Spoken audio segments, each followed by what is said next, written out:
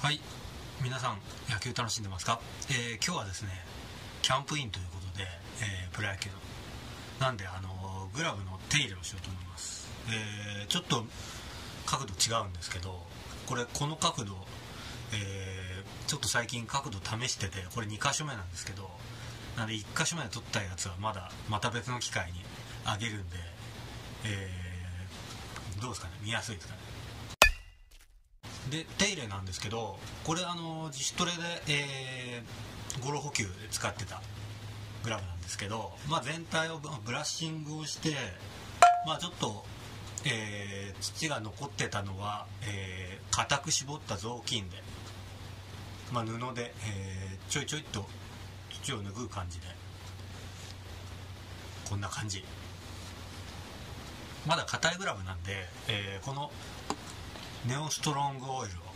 えーちょっと塗っていこうと思うんで、まあ、補給面を中心に塗ってであとこういったところにちょっとボールが当たってそれでポケットにいっているっていう感じで。あとまだポケットに収まりきらないんで握った時にそういったところに節々に当たっているっていう感じがあるんで、えーまあ、ブラッシングはしたのでちょっとオイルを塗ろうと思います。それを、ま、全体的に拭いてブラッシングで伸ばすという感じで。いつも通りなんですけどね、えーとりあえずやってみようと思います。ただまあやる前にもうやっちゃったんですけど、えーこういった、えー芯止めとかウェブの止めてある紐とかを、えー縛り直してあのーやっぱりまだ形が出来上がってないのでボールを取った時の衝撃が結構こういう例えば紐に馴染みきってないと紐が結構緩んでくるんで、まあ、この紐は緩むあえてこれは結んでないんですけど、えーまあ、こういったところの紐とかチェックしてまあ自分は結んじゃうようにしています。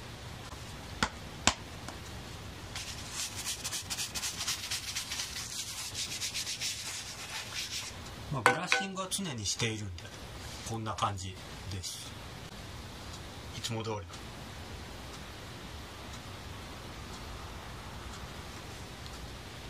これを。ほんのちょっと取って。塗っていきます。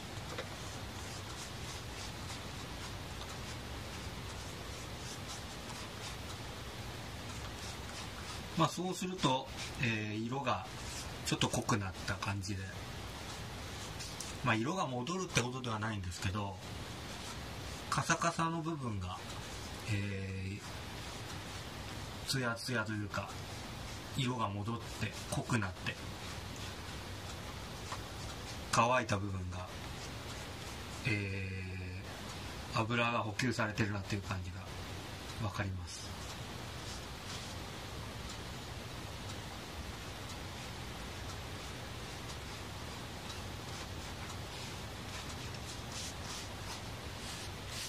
まあ、補給面を塗って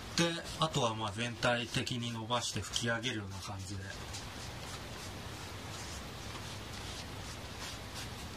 まあ、まずは補給面のポケットがしっかり柔らかくなってほしいっていうところがあるんでこの辺りを念入りに拭いておきます。でまあウェブのどうしても当たってる部分はやっぱりえオイルを補給しておきます。まあ、あとは背面は薄く押し当てて吹き上げるような感じで自分はやってます、まあ、まだこれに関しては全体慣れき馴染みきってないんで背面とかも少々オイルを含ませて、えー、後で手手もみのような感じで鳴らすような感じにしてやってます。乾いた部分で全体を拭いていきます。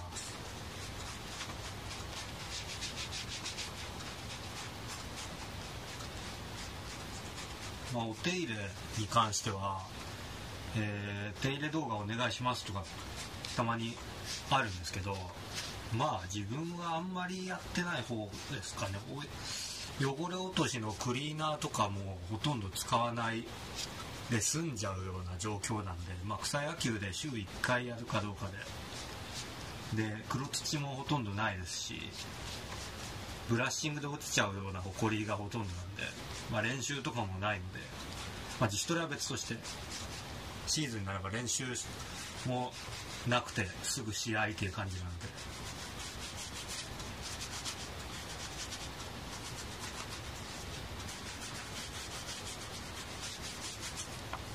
やっぱりネオストロングオイルを入れるとちょっとしっとりの中にブレーキが効くようなザラッとではないですけどじわじわとなんかそんな感じがします。では拭き上げたんで後でブラッシングをするんでこれをこのままちょっと置いておきます。はい、えー、それではブラッシングをしていきます、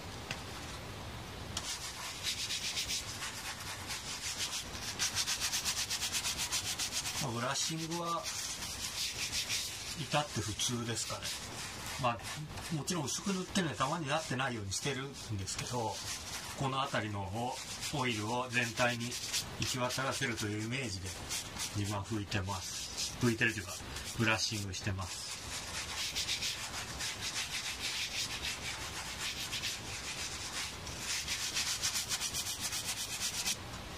今まではこのブラシ全部汚れ落としからやってたんですけど最近は、えー、外でグラブを使ってすぐの時は、えー、別のブラシで汚れ落とし用ということで最近はやってます。まあ軽い汚れとかだったらこれでやっちゃうんですけどこういった背面は薄くというか当てすぎずにブラッシングするとなんだかツヤが出るような感じがして、えー、自分の大好きな作業でありますけども。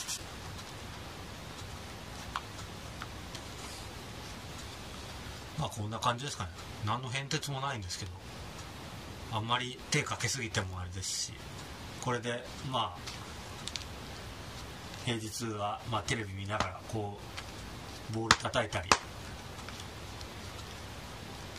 なじませたりするような感じで